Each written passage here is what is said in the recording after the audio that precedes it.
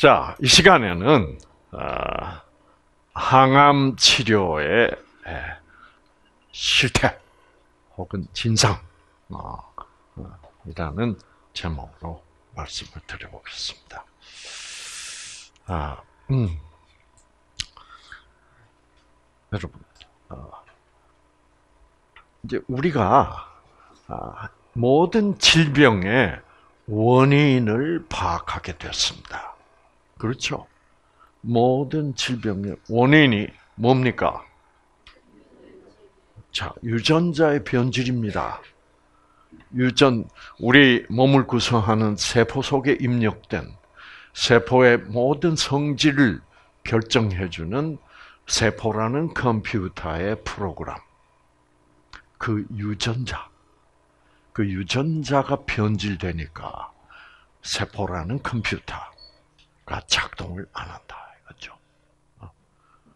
원래, 본래는 내 몸의 암세포라는 것은 매일매일 생기고 있었던 거지만, 그 우리들의 면역 세포, 그 T세포 속에 아, 입력되어 있는 그 유전자, 즉, 암세포를 죽여서 내가 암세포는 내 몸에 생겼지만, 내가 암 환자가 되지 않도록 해주는 그 놀라운 항암 프로그램.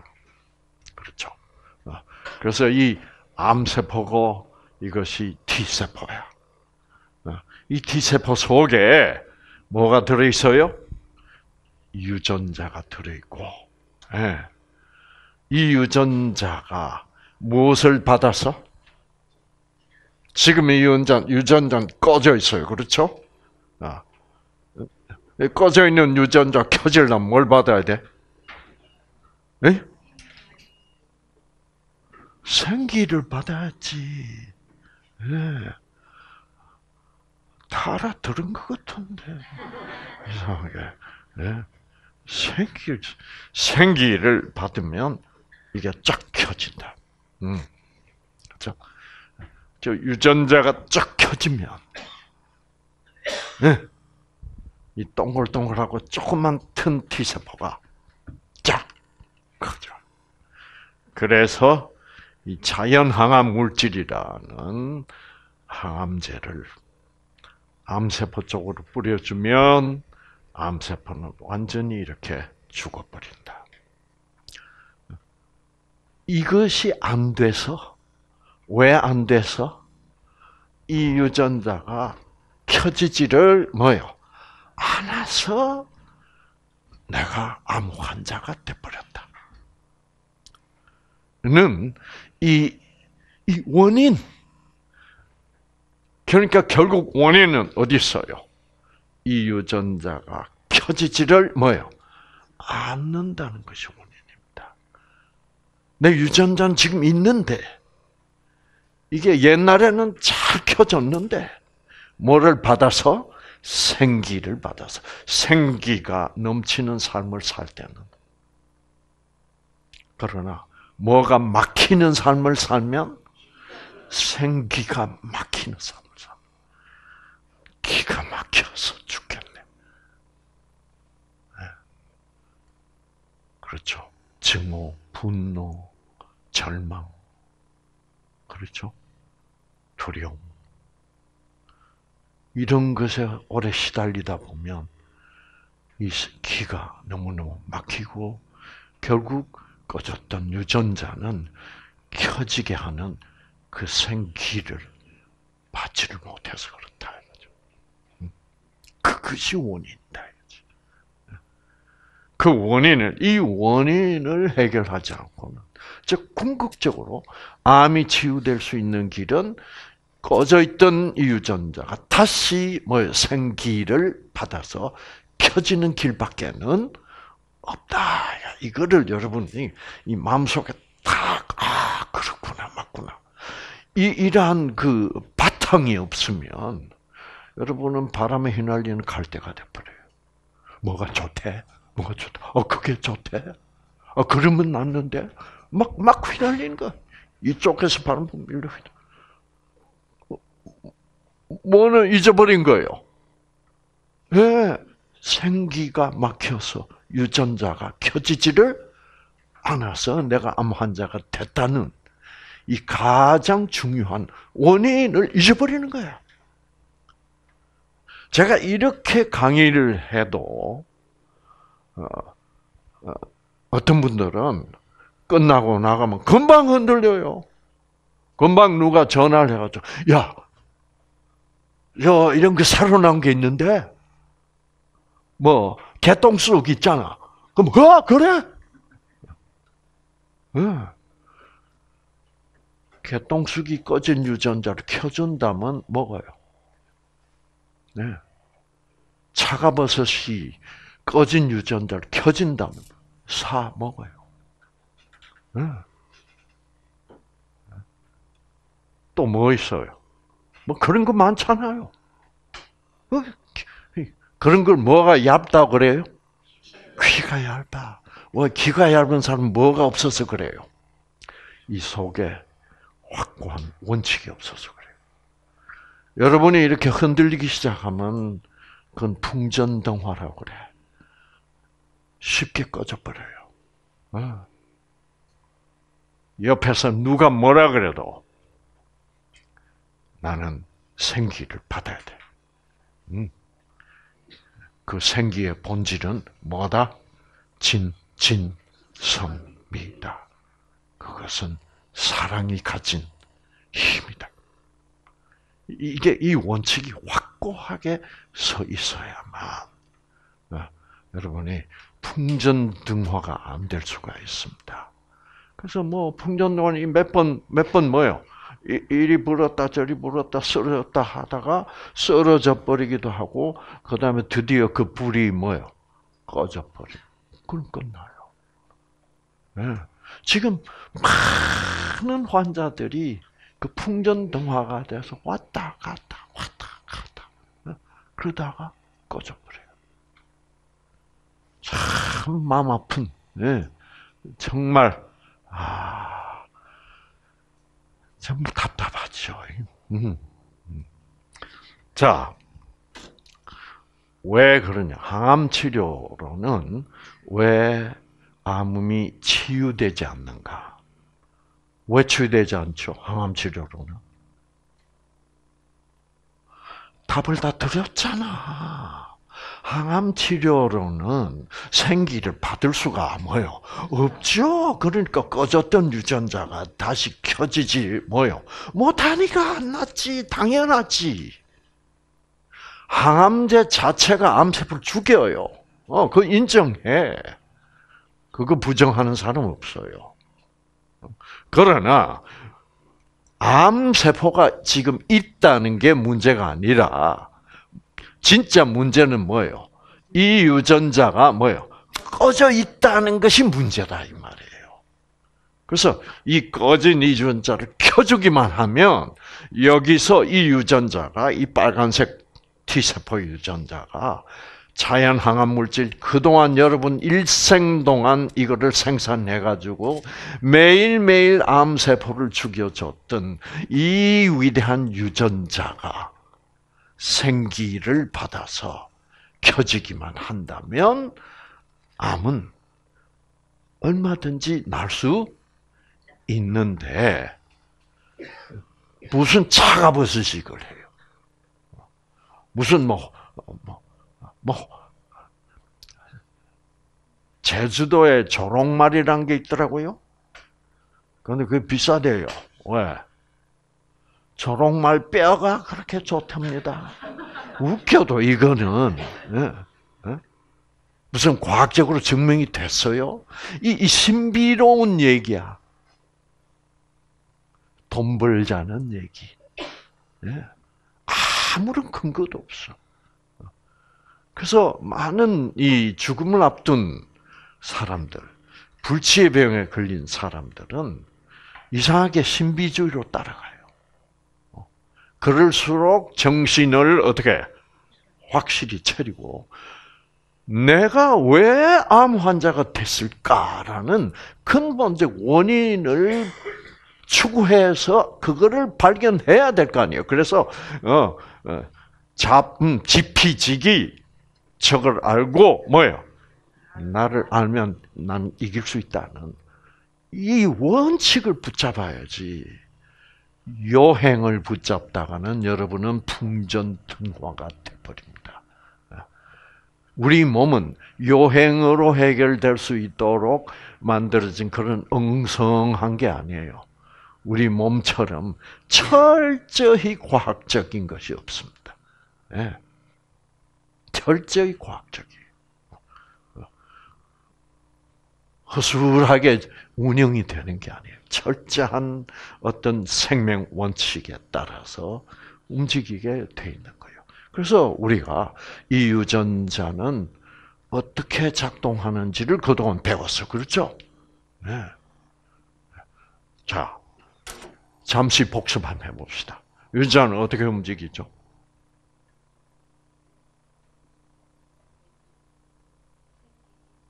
큰일이야. 그렇죠. 자, 유전자에 궁극적으로 영향을 미치는 것은 뭐였다? 네? 그렇죠. 전자파다. 우리 몸에 흐르고 있는 전류로부터 나오는 전자파. 곧 생체 전자파다. 아, 이걸 딱 여러분 마음속에 이제 원칙을 딱 이런 거를 근간이라고 그래. 근간. New Start의 근간. 음. 근간을 딱 세워야 돼. 음.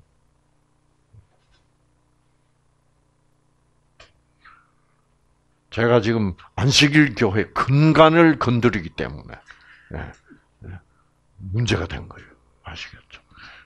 이, 게 무너지면 다 무너지는 거예요. 그 뉴스타트, 뉴스타트에 이 근간이 없으면 여러분 뉴스타트가 언제 바람에 바람이 불면 휙 날아갈지 이게 다 근간이 있어야 돼. 음. 자 생체 전자파다. 생체 전자파는 뭐로부터 나온다? 뇌파 그렇죠.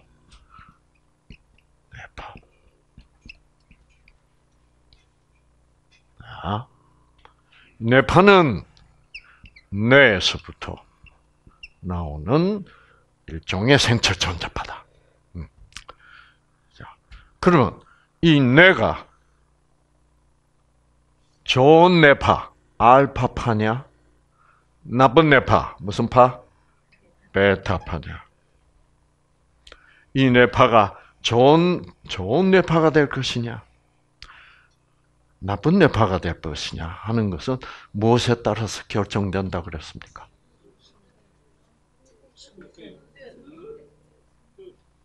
뜻. 내 마음 속에 어떤 뜻을 품느냐, 어떤 생각을 품느냐, 네, 뜻. 음, 그렇죠. 그래서 내 속으로 들어가는 것은 무엇이다? 뜻이다. 여러분 제가요, 아, 이제 저는 부산에서 고등학교를 졸업했으니까 이제 대학을 가려고 연세대학교 이과대학에 그때는 뭐 수능 이런 거 없었어요. 그때는 각 대학교에서 뭐예요? 예, 자기들이 알아서 시험 문제를 내고 어, 어 그래가지고 그 시험 쳐서 시험 쳐가지고 어, 그리고 면접을 보고 어, 그래가지고 붙었어요. 어. 자, 그래서 뭐 서류 심사 이런 것도 하고 아, 또 그때 정말 조마조마했어요. 음. 요즘 뭐 수능만 딱 보면 끝나잖아요. 근데 자, 근데 여러분, 그리고 이제 시험을 치고 한 한 달 정도 기다려요. 요즘 수능 성적 나올 때까지 얼마나 기다리는 거예요? 네? 네? 네? 네 뭐, 그 당시에 한 한 달 기다렸던 거예요. 그 한 달이요, 정말 지옥 같았어. 음. 근데 제가 그때, 아, 아, 우리 고모님 댁에 해서 묵었어. 근데 고모부님이 이제 이제 높은 아주 높은 공직에 있었기 때문에 그 이제 비서들도 많고 집에 그다음에 이제 뭐 신문이 많이 와요. 신문이 뭐 온갖 신문 신문이라는 신문은 다 와. 음. 이제 드디어 발표 날이 됐어. 발표 날 됐어. 그때는 합격자 발표 어디 났게? 신문에 났다고. 어, 신문 밑에 하던 광고 막 그래서 쫙 신문에 합격자 이름 쫙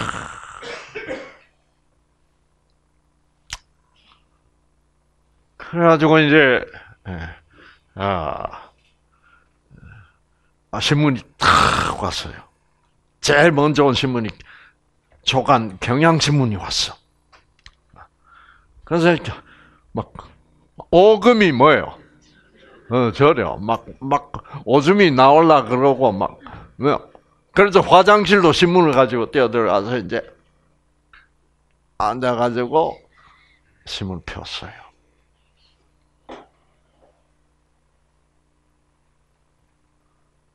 유전자, 아, 이상구 없어. 없어. 이상구 없어. 하, 유전자 기가 막혀 막혀. 어, 절망감이 쫙 밀려오면서 억장이 무너지. 기가 꽉 막혀.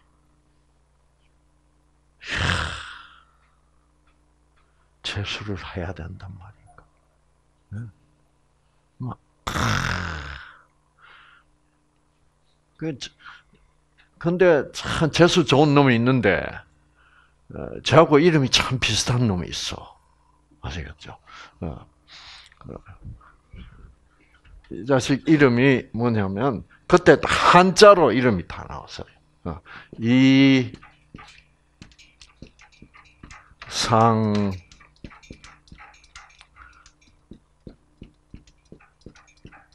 이상문이야. 야, 이상문이가 어느 놈인지 모르겠지만 참 좋겠다. 저 이상문이가 이상구라면 얼마나 좋겠나. 응. 생생한 추억이요, 이게. 네. 하, 전망감. 윤자 다 꺼져, 안 꺼져? 어, 밥맛도 없어. 근데 이제 한 10분이 되다 또착 신문이 하나 또 왔어. 그래서 이제 그 새벽에 더 나가니까 이번엔 한국일보가 왔어. 그래서 뭐 보나 마나지 뭐 없는데 뭐 그런데 또 보고 싶더라고. 다 보니까 이번에는 이상문이가 없어. 이상문이가 없어. 이상문, 이상문이가 없고, 이상문이 대신에, 뭐, 이런 놈이 있어. 어, 이상필이야. 야, 이거 봐라. 그러면, 신문사에서 내 이름을 그때는 활자를 딱 이렇게 네? 네, 이거 나부로 된 활자 착착착 조판했다고요 그때는. 네, 요즘은 그렇지 컴퓨터로 하는 게 아니라. 음. 그러면 제 생각에 혹시 경향신문사에서는 이상구를 그렇죠 제 이름이 뭐냐면 제 이름이 요거든요 요거 이상구. 어, 어. 이 세 놈 중에 한 놈일 수 있다. 내 생각을 딱 하니까 유자가 돼 반짝하고 켜지는 거야. 이야. 어. 어. 아.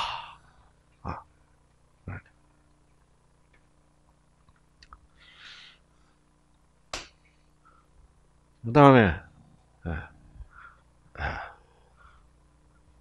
그 다음에, 서울신문이 탁 왔어. 어. 어. 서울신문이 탁 왔는데, 예. 이 서울신문에는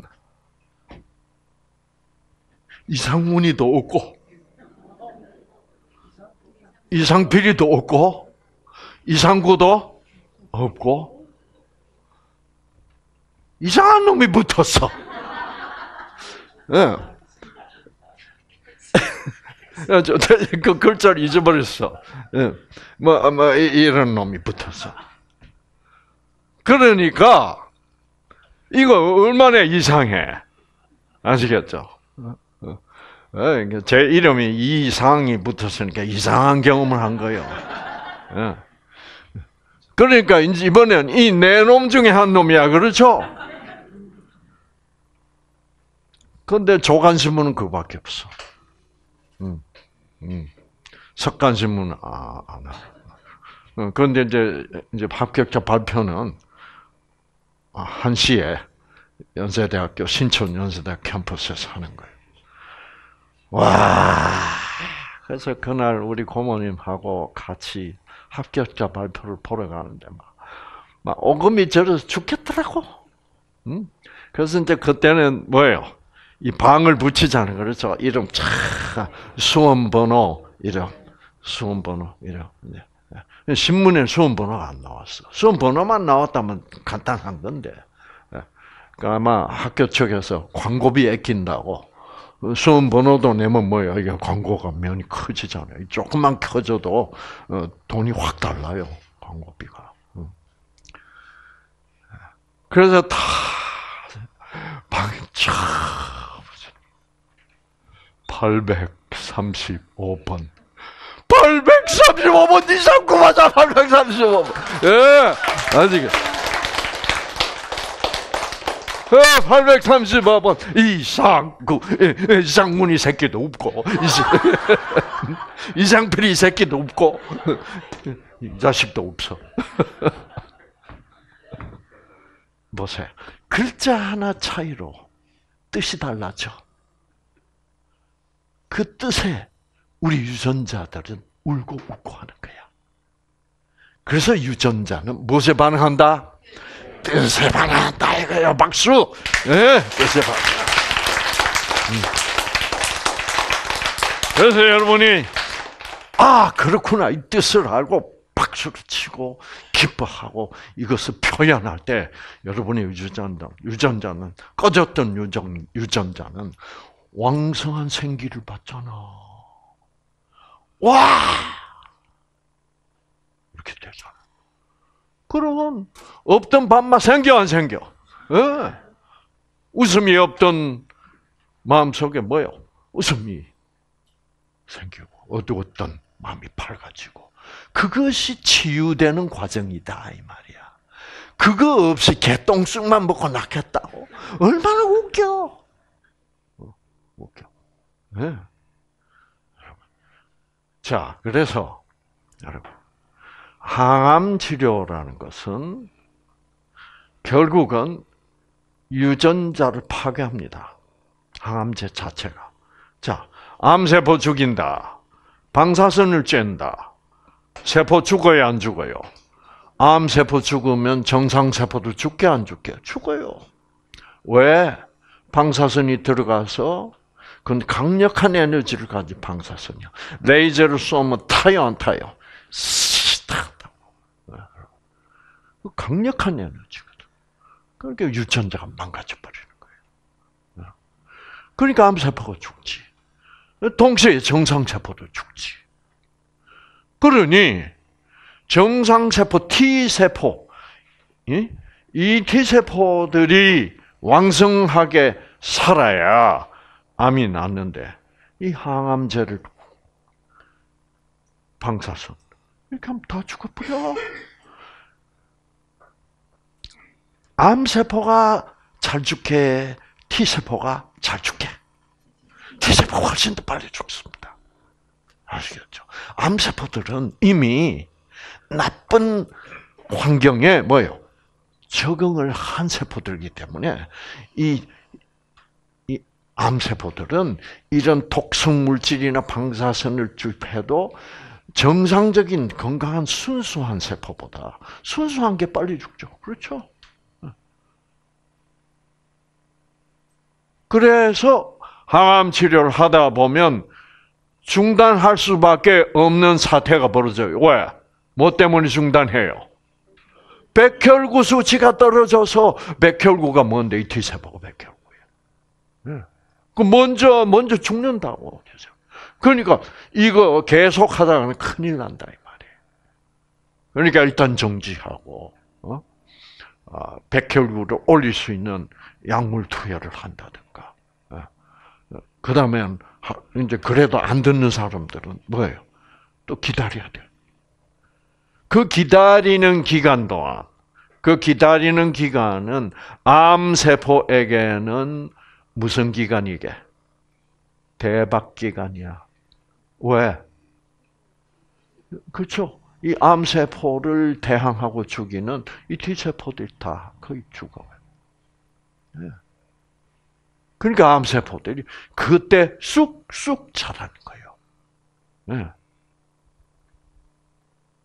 자, 그러면 그래서 기다렸다가 또는 T세포 어, 혹은 백혈구 수치가 다시 정상으로 회복되면 암 치료를 다시 시작하겠다. 어, 그걸 다시 시작했어. 그때는 자 보세요.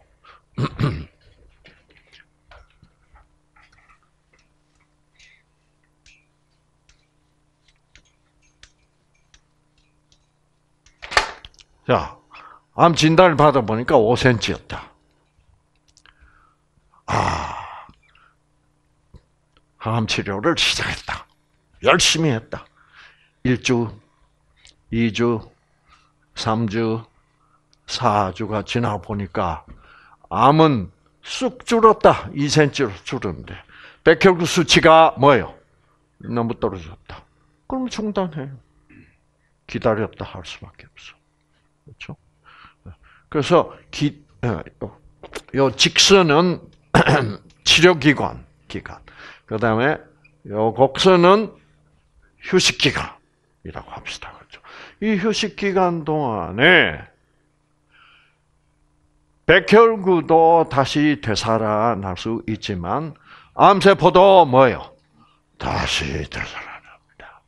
암세포도 이 2cm가 되었던 암세포들이 야 우리 세상이구나 예, 하고 막 자라나요. 어.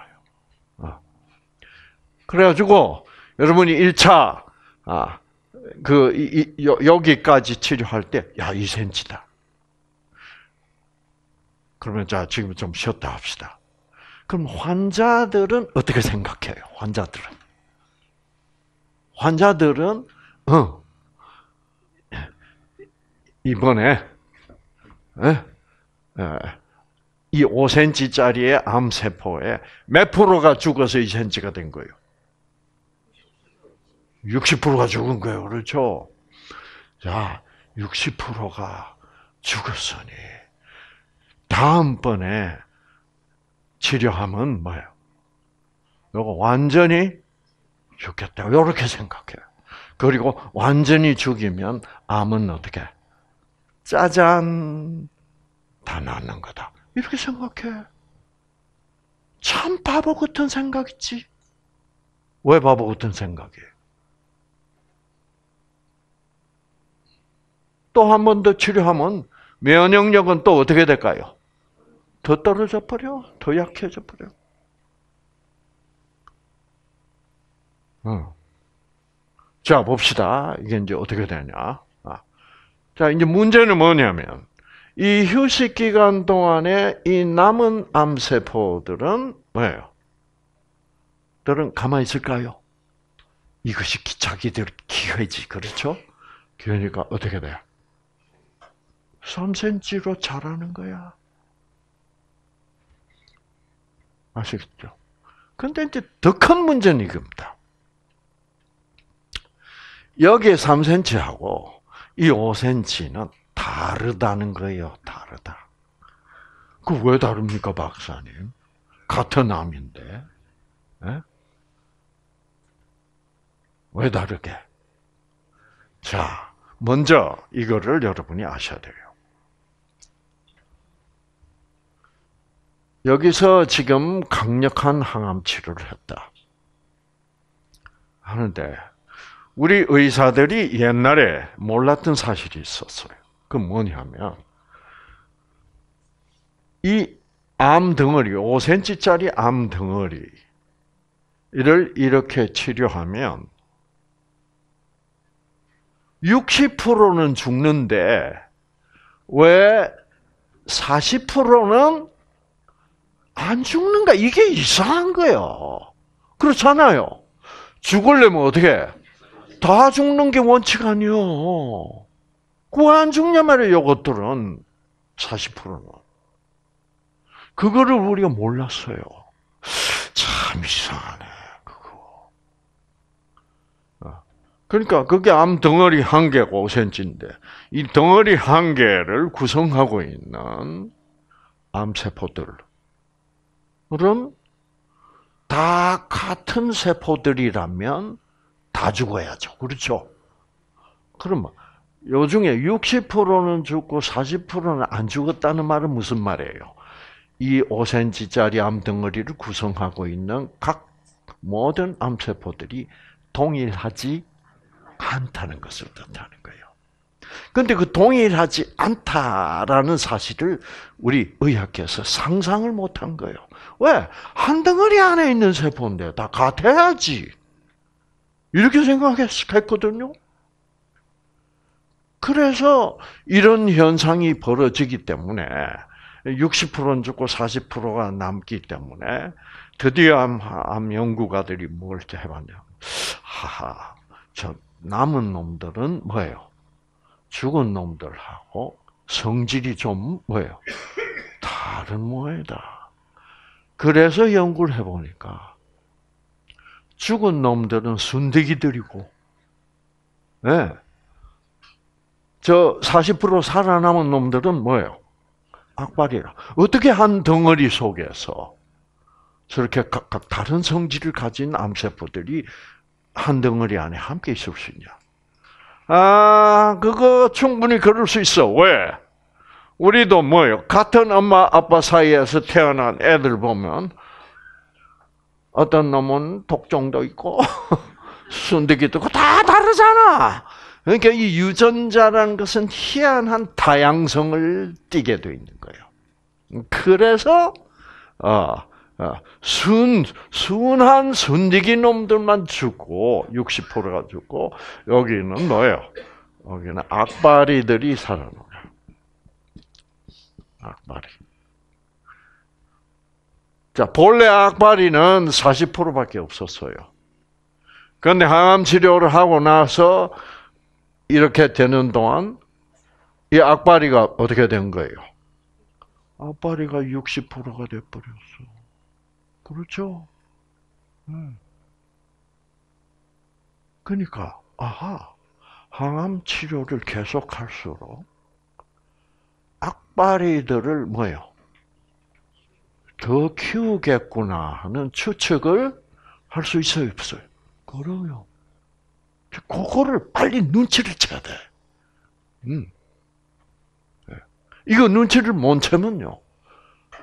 또 하자 그러면 또 하고. 또 합시다 그러면 또 하고. 이렇게 되는 거예요.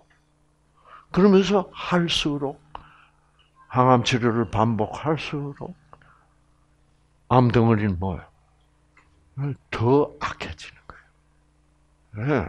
그래서 나중에는 뭐예요? 해도 치료해도 암세포가 끔찍하게 안 하게 안 합니다. 치료하고 있는 동안에 항암제 투여하고 있는 동안에 암이 막 자라나요. 오히려. 그러면 이제 부영사, 아, 아, 이거, 이거, 그만합시다. 어. 그러면 호스피스로 이제 하는 거예요. 그런, 그런 과정이 딱 암 환자들 앞에 있는 거예요. 뻔할 뻔짜요.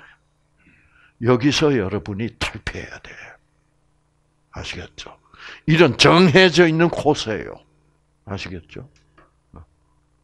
그래서 항암 치료를 반복하면 할수록 환자의 면역력은 더 뭐예요? 더 약해지게 되어 있는 거예요. 네. 자, 그래서 봅시다. 그래서 이게 3cm가 딱 되니까 환자가 어 이거 어떻게 돌아가는 거야? 근데 병원에서 설명은 안 해줍니다. 그렇죠? 뭐 하여튼 모든 것을 뭐요? 주치의한테 맡길 수밖에 없어. 이 뉴스타트는 여러분 알아서 해야 돼요. 아시겠죠? 어, 그냥 누가 해주는 게 아니야. 나의 선택에 딸려 있는 거야 지금. 예. 자, 그래서 여기서 또 치료를 시작합니다. 시작하니까 이 3cm는 여기 순대기가 60%, 60% 있던 순대기들은 여기는 있어 없어? 없어요. 악바리들이요. 그 악바리들 여기서는 잘 죽죠 순대기들이. 여기는 순대기가 없으니까 뭐예요? 잘 안 죽어요. 그니 3cm인데 기껏 치료하니까 2.2cm가 된 거예요. 야, 이거 뭐 그리고 이제 또 백혈구 수치가 또 떨어져서 휴식하고 나니까 이게 3.6cm가 돼버려. 자, 요것들은 악발인데, 예, 이건 악발이. 요거는 무슨 종이 됐어, 이제? 어, 독종이 됐어, 독종. 예. 이제 악바리들이 독종이 돼버렸어. 예. 그래서 이 독종들을 또 치료하는 거야. 잘 죽게 안 죽게? 영 안 죽어. 아무리 치료해도 3cm 이하로는 안 죽어. 그리고 휴식 기간이 지나니까 이것들이 4cm가 돼버렸어. 그럼 이것들은 뭐게? 자, 악바리, 독종, 그 다음에 이건 뭐예요? 요거는 역, 역전의 용사들이다. 어.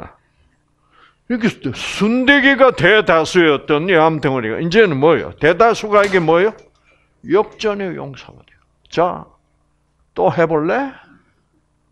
들어와봐 한번. 이제 이러는 암이 되어 있는 거예요. 그게 대개 한 6개월 내지 8개월 지나면 암이 이렇게 되어 있어요. 네. 여러분이 몇 분이 이런 코스를 이런 과정 거쳤잖아요. 그렇죠? 음. 역전의 역사가. 네. 그래서 이제 또 여기서 시작해. 다시 치료를 시작해. 네. 시작하니까 아, 예. 쬐끔밖에 안 죽는 거야. 역전의 용사들이니까. 역전의 용사들 중에 조금 약한 놈들만 죽어. 어, 그러니까 뭐예요? 3.7cm 죽어. 그리고 이제 또 휴식 기간 하니까 이게 지금 어떻게 되냐면 5.5cm가 돼버려. 이 5.5cm는 뭐게? 왜 이때는 면역력이 지금 너무 떨어져 있어. 그러니까 푹 자라는 거예요. 역전의 용사들이 다시 자라면 이게 뭐가 될까? 이게 이게 못 말리는 조폭이 돼버린 거예요.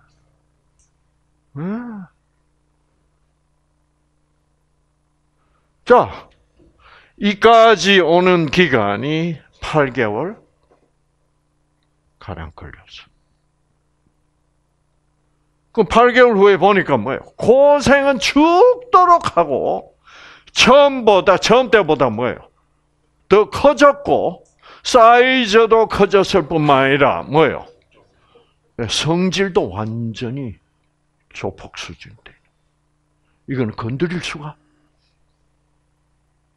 이래서 끝나는 거예요. 네.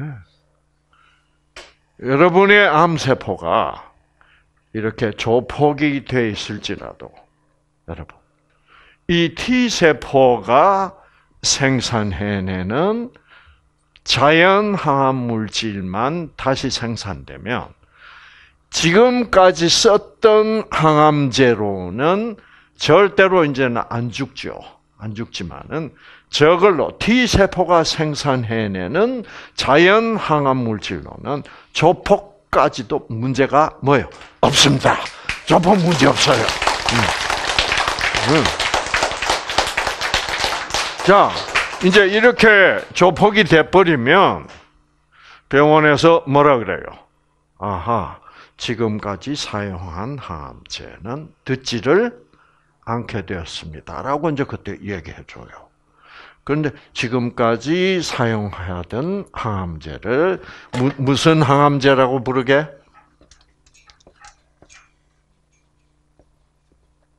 일반 항암제라고 부릅니다. 그래서 일반 항암제는 이제 소용없다. 음. 그러니까, 음, 그러니까 여기서부터는 무슨 항암제를 쓰자? 표적 항암제를 쓰자. 이렇게 나옵니다. 표적 항암제.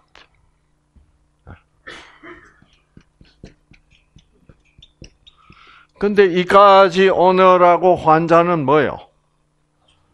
진이 빠졌어요. 여기서는 밥도 잘 먹고 운동도 잘 하고 그랬는데 이제는 건강 상태가 전반적으로 뭐요? 다 나빠졌어. 이제는 비일비일하게 돼. 예. 더 이상 일반 항암제를 썼다가는 이거는 사람 잡아. 또 효과도 없을 뿐만 아니라. 그때 이제 표적 항암제를 쓰죠. 그래서 이제 표, 표적 항암제 특징은 부작용이 일반 항암제에 비하면 일반 항암제에 비하면 일, 일반 항암제 한 25%밖에 없어요. 부작용. 네. 아주 부작용이 경미하다고 볼 수 있습니다. 그, 그 부작용이 적은 이유는 아, 이 항암제는 일반 항암제는 암 세포건 정상 세포건 상관없이 뭐예요? 무조건 다 죽였는데 이 표적 항암제는 암 세포에 여러분 각자의 암 아, 몸에서 암 세포를 떼내요. 떼내서 유전자 검사를 해서 그곳에 맞도록 아, 만든 항암제가 표적 항암제. 그래서 어, 이 표적 항암제가 쟤는 이상적으로 얘기한다면 암 세포만 표적을 해서 공격하도록 만들긴 만드는데 실제로 현실적으로 사용을 해보니까 한 25% 정도의 부작용이 뭐예요? 다른 정상 세포에게도 피해를 준다는 사실이 이제 밝혀졌습니다. 예. 그래서 이 표적 항암제는요, 막 놀랍게 듣습니다, 여러분. 네. 여기서 이제 완전히 환자는 절망 상태에 있는데 아시겠죠? 표적 항암제가 탁 들어갑니다. 네. 그 일반 항암제 맞을 때는 막, 막 부작용이 막 엄청났는데 이제는 아 좀 편해요. 편하면서 딱 해보니까 한 달 후에 보니까 이 5.5cm가 여러분 이 5.5cm가 참 1cm로 줄어버리니까. 우와, 얼마나 놀라워! 어. 그 다음에 이제 두 달째 가니까, 볼락말락해, 볼락말락.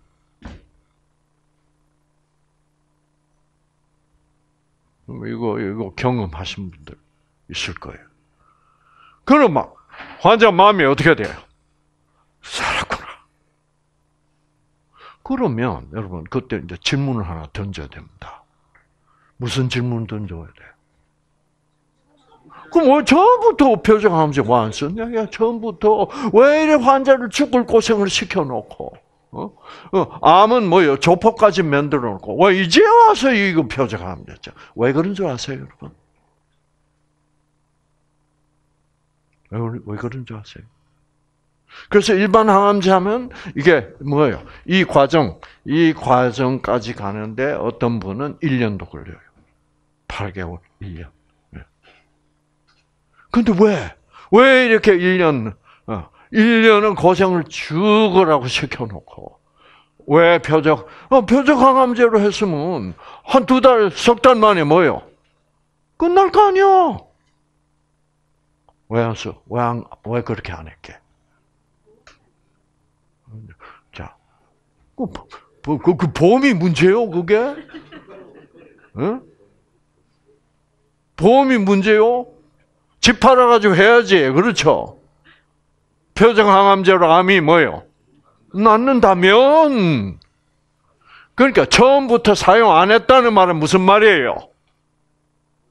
표정항암제로 나을 수 없다는 것을 의미하는 겁니다. 아시겠죠? 예. 네. 그럼 반드시 그게 나을 수 있으면 반드시 처음부터 시작해야죠. 음. 여러분. 자, 그래서 보일락 말락해.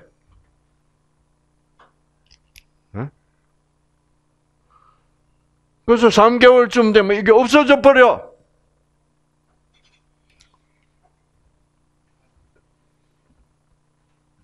맞아요. 그런 사람 많아요.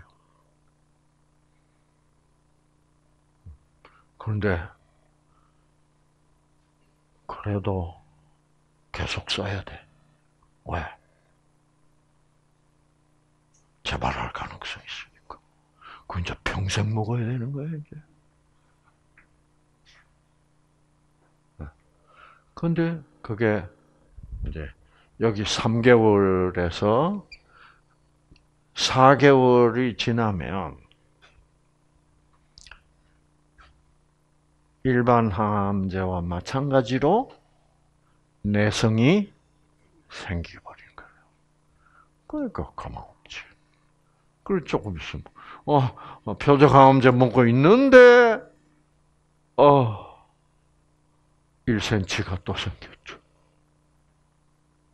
또 뭐야? 또 5개월째 가니까 2cm.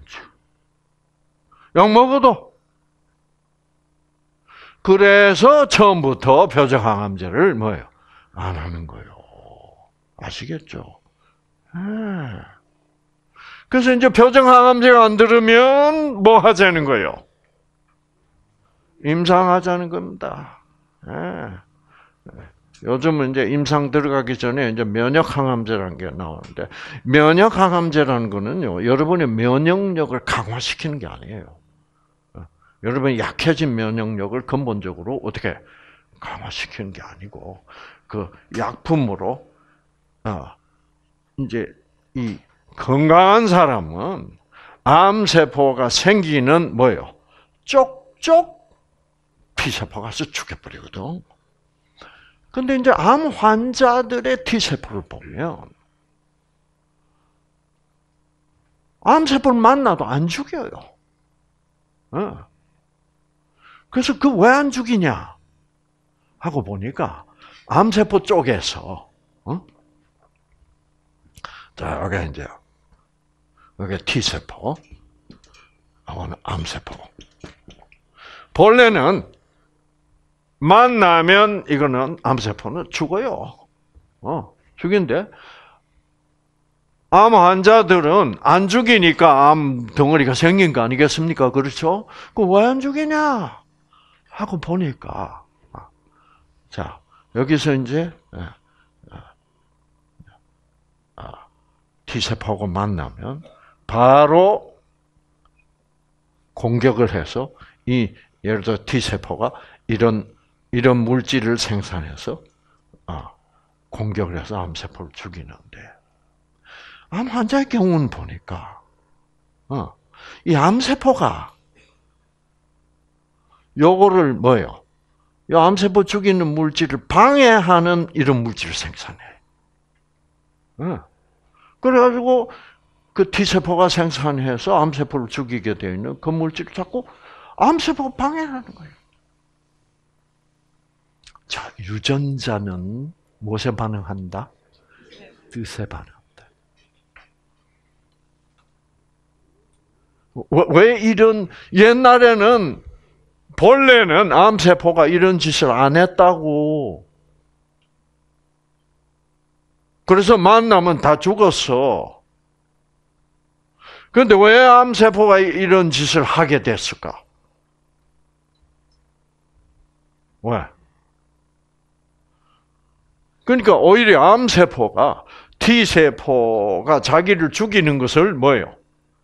방해하는 이 방해 물질을 어, 그래서 방해 물질을 삼각형으로 표시합니다. 이 삼각형. 이 삼각형 물질을 생산해. 예, 이 암세포 속에 있는 유전자가 유전자가 다시 이게 생겨나가지고 이, 이 방해 물질을 생산해서 어, 암 T세포가 생산해 놓은 암세포 죽이는 물질을 막아버리는 거예요.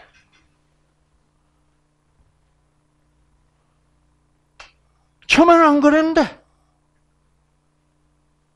그러면 여러분 어떻게 하면 암은 낫게 돼 있어요? 처음에 안 그런 상태로 어떻게 돌아가야 되는 거 아니에요? 근데 그거 돌아갈 생각은 안 합니다. 그거 돌아가게 하는 거는 자 보시오. 암세포가 T세포를 만나서 이런 짓을 하는 이유가 뭐게? 속에서 암세포하고 T세포가 가만 보니까 이 사람이 무슨 짓만 하는 거요? 자꾸 자기 몸을 뭐요? 망가뜨려. 그러니까 누구만 신나는 거요? 암세포만 신나는 거지. 그러니까 이, 이 T세포 쪽에서는 T세포 유전자는 아하 우리 주인님은 나를 자꾸 죽이려고 하는구나. 라는 뜻을 받, 받을 거고 암세포 쪽은 뭐라고 생각할까요? 아하 이 주인은 나를 도와주는구나. 그래서 그 뜻을 받아서 암세포 속에도 유전자가 있거든. 그래서 그 유전자가 이런 방해 물질을 생산하도록 된 거야. 그러니까 암이 날려면 뭐부터 바꿔야 되는데 뜻부터 바꿔야지. 박수 뜻부터 바꿔야지. 그런데 지금 병원에서는 그이 뜻부터 바꾸라는 얘기를 하면 이건 너무 돈이 안 되잖아 돈이. 돈 되게 하려면 어떻게 해야 돼? 돈 되게 하려면 오케이 이러면 되겠구나. 이 암세포가 이 삼각형 물질을 생산할 때 우리 제약회사에서는 뭐예요? 이 삼각형 물질을 방해하는 물질을 생산하면 되겠다. 이거를 신약이라 그런 거예요. 그런 거를 면역 항암제라고 그래요. 면역 항암제 주사를 맞는다고 해서 면역력이 강해지는 거 아니에요. T세포는 이 허약한 T세포는 그대로 허약하게 유지되는 거죠. 아시겠죠? 응. 그래서 여러분, 생기 이후에는 갈 길이 없다는 것을 꼭 기억하시기 바라요. 아시겠죠? 네. 다른 길이 없어. 원칙대로 게임을 해야지. 그렇죠? 음. 그래서 이 방해 물질을 막는 물질을 이제는 아. 그래서 제약회사 회사는 무슨 물질을 만드냐고 하면 이런 물질을 만듭니다. 이런 물질 만들어요. 네. 이런 물질 이런 물질을 만들어 가지고 암세포가 이 삼각형 물질을 생산했을 때 어떻게 하려고? 요거를 딱 잡아서 활동 못하게. 요게 항암제예요. 그, 그러니까 제약회사에서 이거 만들어 놓고 돈 많이 달라 그럴까 안 그럴까? 그럼요. 얼마나 비싼데. 네. 그럼 이게 또 자기들 생각들 다 잘 들어 안 들어? 그것도 아니에요. 어, 아시겠죠? 그래서 그래서 이제 면역 항암제도 안 되면 이제 뭐 하라고? 임상하자는 거예요. 임상이 뭐예요? 실험하자면 실험. 실험하자는 건 그 뭐냐? 하면 자꾸 이제 이 일반 항암제들이 아무리 새 거를 만들어내도 결국은 뭐예요? 결국은 이렇게 돼버리거든요. 어, 그러니까 계속 제약회사에서는 새 신약 항암제를 만들어낼 수밖에 없습니다. 자, 그걸 만들어내려면, 아, 만들어내면 어떤 부작용이 있는지는 써봐야 알잖아요?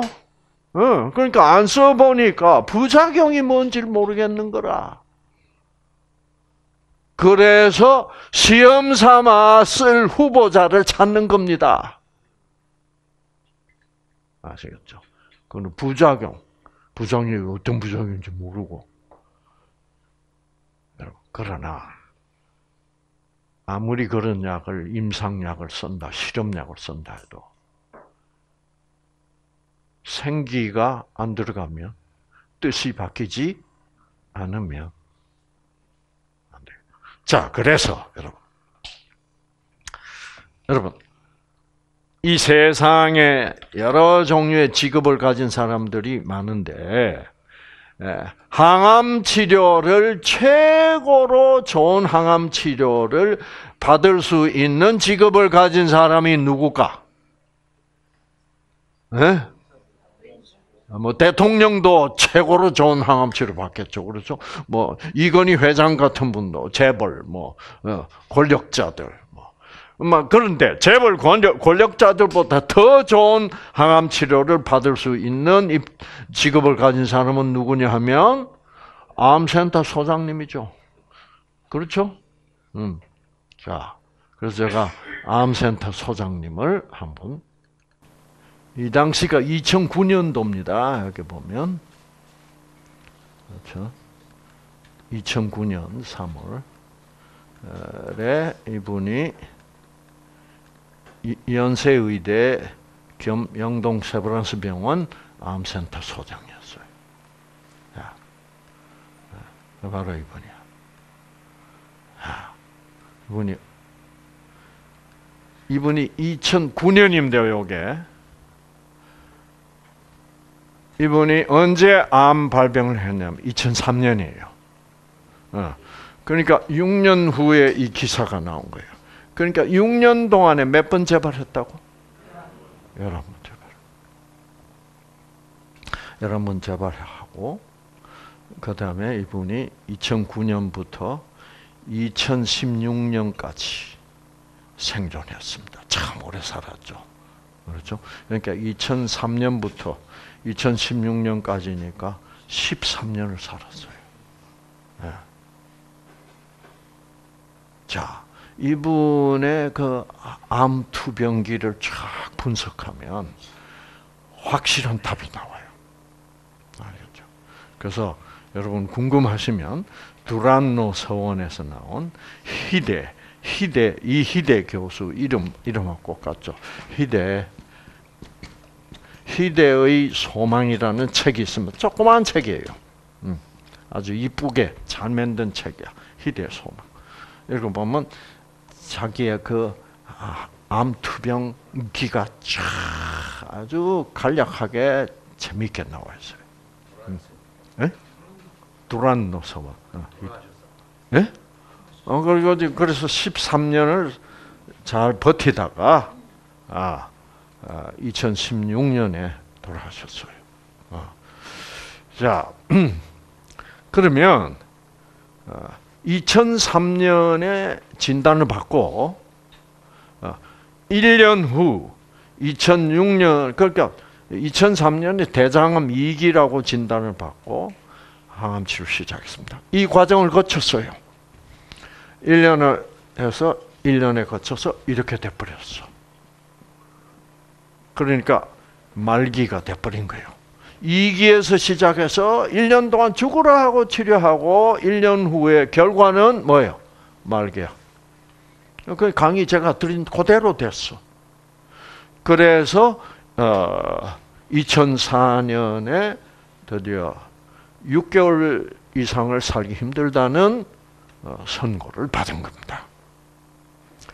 그때 이분이 드디어 뭐가 달라졌어요? 생각이 달라져서. 자, 이제는 항암 치료에 내가 더 이상 기대할 수 없구나. 어, 그러면 할 수 없다. 어, 어. 그래서 내가 남은 6개월을 아, 이제는 남을 위해서 한번 살다가 죽자. 그래서 그러면서 그 봉사 생활을 시작했다. 그러면서 이제 누가 아, 채식을 하고 운동을 해라. 그리고 웃어라. 무슨 프로그램하고 비슷해. 그래서 그 누가 뉴스타트 프로그램 아, 뭘 그냥 간단하게 전달해 준 거거든. 그리고 이분이 딱 듣고 어, 그 일리 있다. 왜? 이제는 뭐 항암제는 안 듣는 거니까. 그렇죠? 그래가지고 열심히 봉사 생활을 하다가 6개월이 지나버렸어. 7개월째. 보니까 뭐예요? 자기가 6개월 전보다 뭐예요? 더 싱싱해진 거야. 세브란스 병원 검사. 좋아진 거야. 그러면 어떻게 하면 되는데? 어, 계속 해야 되는데 이 전문가들의 사고 방식은 그게 아니에요. 아하. 내가 1년 동안 항암 치료한 후에 더 이상 항암 치료를 해도 할 수 없을 정도로 나빠졌는데 이제 좀 좋아졌으니까 항암 치료할 수 있겠네 이렇게 되는 거예요. 그래서 항암 치료하면 또 나빠진 거야. 그러면 또 중도 어, 중단해가지고 또 이제 건강식하고 운동하고 노래 부르고 이러면은 또 좋아지는 거야. 그럼 또 하는 거야. 어, 그럼 또 나빠. 이래서 열한 번을 했다 이 말이에요. 음. 그래서 2009년에 와서 어, 여러분 그러니까 2004년부터 2009년 5년 동안 그렇게 씨름을 한 거예요. 그러다가 결국은 다 몸에 저, 어, 그래서 이게 뼈에도 골반 뼈에도 전이 되고 이래가지고 이제 뼈도 수술하고 하니까 이제 집행일을 짓고 이제 예, 걸을 수밖에 없게 되고 참 이분도 대단한 분이에요. 자, 아, 집행 양쪽 지팡이 짚고 있죠. 아, 아. 이런데 특징이 뭐예요? 특징 얼굴이 밝다는 거야. 배운 대로 한번 판단해 보세요. 얼굴이 밝다는 말은 무슨 말이요?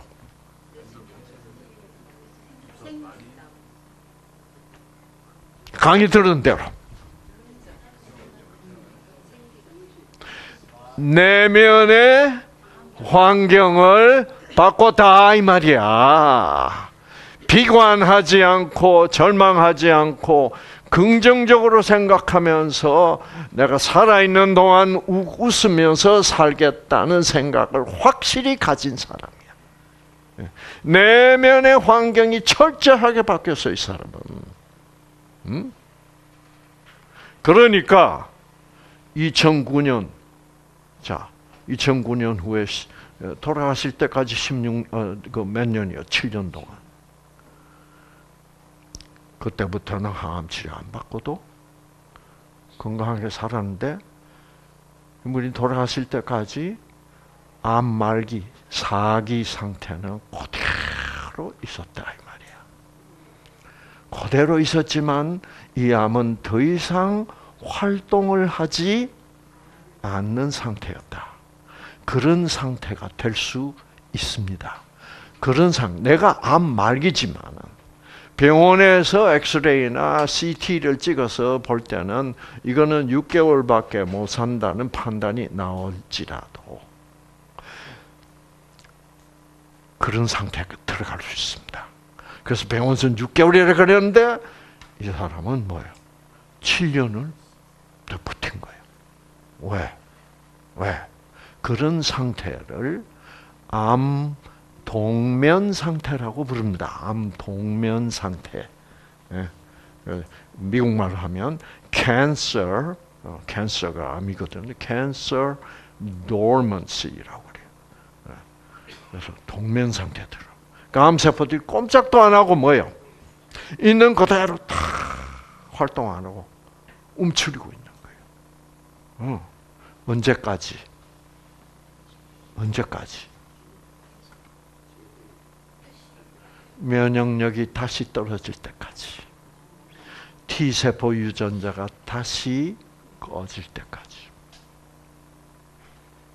그래가지고 잘 건강하게 사시다가 2016년도에 돌아가셨는데, 그건 뭘 의미합니까? 에, T세포 유전자가 또 꺼질 일이 생겼던 것 같아.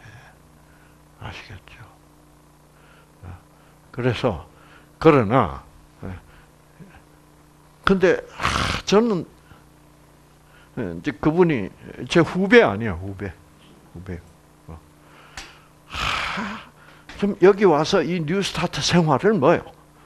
화끈하게 하면 이게 화끈하게 하면 T 세포 꺼졌던 유전자가 어떻게 화끈하게 켜져서 화끈하게 암 세포를 죽여버리면 다시 활동할 수도 있고 뭐예요?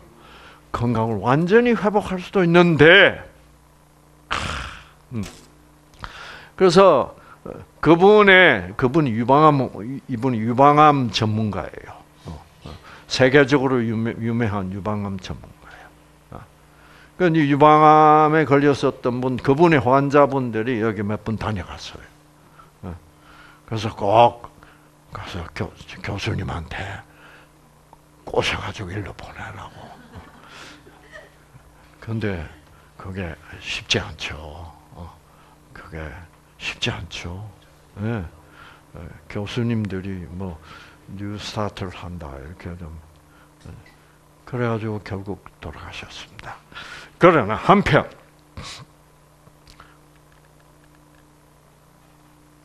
이분 봅시다. 아, 네. 이분이 누구냐 하면 김, 네? 아, 김현 선규, 음, 김선규 의사예요.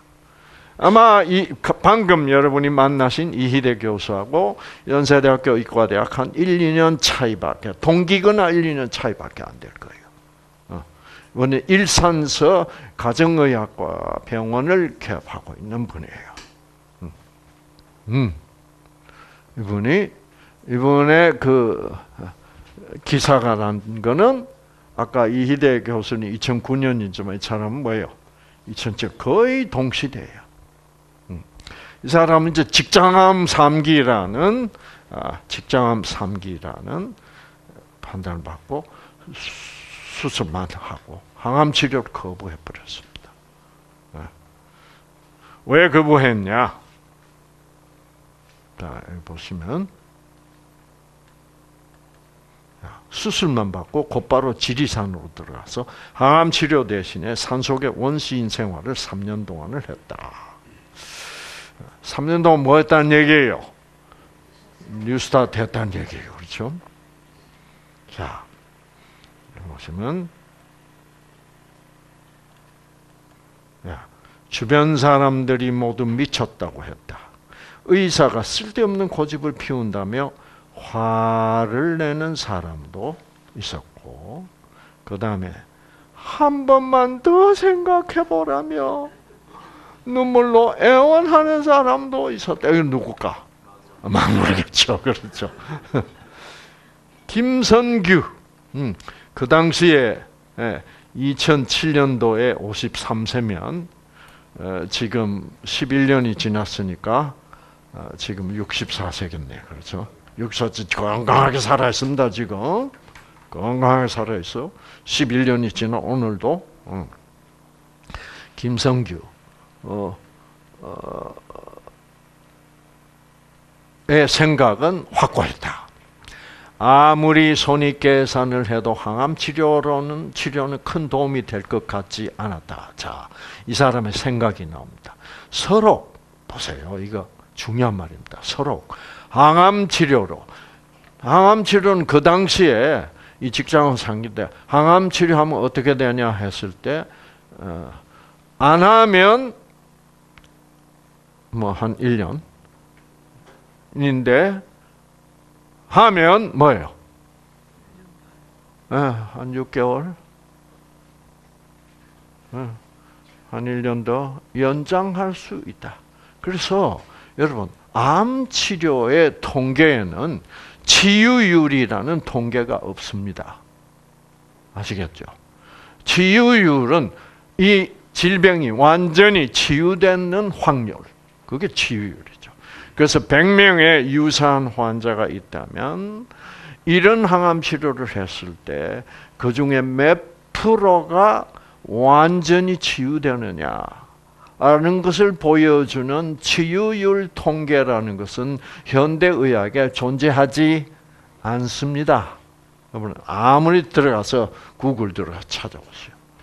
없고 암 환자의 치료 결과에 대한 통계를 뭐, 뭐 무슨 통계라고 부르냐 하면 치유율이 아닌 뭐 무슨 율? 생존율이라는 통계밖에 없습니다. 예. 생존율이란 말은 치유되지는 않았을지라도 살아있는 확률이라는 얘기예요. 어, 그게 현대의학의 암에 대한 통계입니다. 자, 여기 보세요. 그런데 서로 항암 치료로 몇 개월 더 수명을 연장해서 산다고 해도 치료 과정의 고통과 삶의 질 저하는 어떻게 보상을 받을 것인가? 그리고 이제 여기서부터 중요해요. 항암제가 항암제가 자연 수명을 자연 수명이라는 게 뭐예요? 항암 치료 안 하고 그냥 가만 어, 둔 사람들의 수명을 자연 수명이라고 그래요. 그래서 항암제 치료가 자연 수명을 어떻게 단축시키는 경우도 통계에 많이 나와 있습니다. 아시겠죠? 그래서 오히려 치료를 안 받았더라면 어, 생존율이 더 높았다 이 말입니다. 네. 어, 경우도 있다 제가. 그래서 어, 자기가 암에 걸린 이유는 뭐라고 여기 보니까 무절제한 생활 습관 때문에 암이 생겼으니 생활 습관부터 뭐예요? 바로 잡아야 되겠다는 생각이 앞섰다. 자, 올바른 선택이 아니요. 아, 올바른. 네, 올바른 선택. 그래서 좋다. 응? 지리산으로 가자. 그래가지고 3년 동안 다 해가지고 보니까 암이 싹 없어졌어. 제발 안 해. 아시겠죠? 네. 그래가지고 지금 11년이 지난 지금도 건강하게 살고 있습니다. 자, 이 강의를 듣고 나니 나면 여러분 선택이 이제 두말 할 거 없구나. 알았다. 음, 그래서 여러분 어, 저도 경상도 사람이지만은 경상도 사나이들 대화 속에 예, 어, 뭐 여자들도 그렇지만 특히 경상도 사나이들의 대화 속에 뭐가 제일 매력적인 말인 줄 아십니까? 알았답니다. 알았다. 예, 예. 경상도 사나이들 알았다 하면 끝나는 거야. 그렇죠? 그 다음에 알았다 해놓고 뭐 이래서 하면 경상도에서는 그건, 그건 목사발 돼. 일단 알았다 하면 뭐예요? 네, 그 길로 가는 겁니다. 아시겠죠? 여러분, 자 알았다 한번 해보세요. 알았다, 화이팅! 자.